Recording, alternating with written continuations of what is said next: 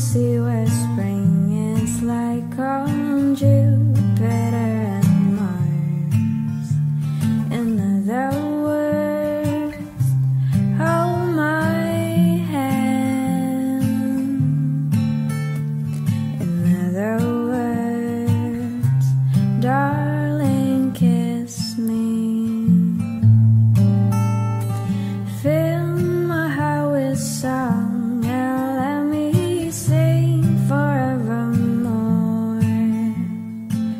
You.